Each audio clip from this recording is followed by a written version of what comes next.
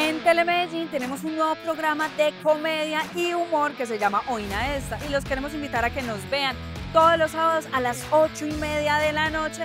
Aquí vamos a reírnos de lo cotidiano, de lo más trivial y de lo más serio. Así que los esperamos en esto que es Oína Estas por Telemedellín. Aquí te ves.